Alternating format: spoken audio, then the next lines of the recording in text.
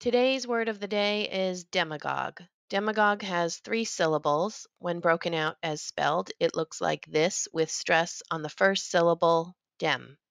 Here's a phonetic spelling of demagogue.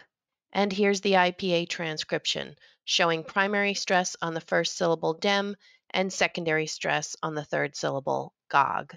Using color vowels to assist with pronunciation, demagogue has the eh as in red dress sound, followed by a as in a cup of mustard, and ah as in olive socks. Demagogue is a noun meaning a political leader who gains power and popularity by arousing the emotions, passions, and prejudices of the people. Here's a sample sentence. The candidate is a gifted demagogue with an uncanny ability to manipulate the media.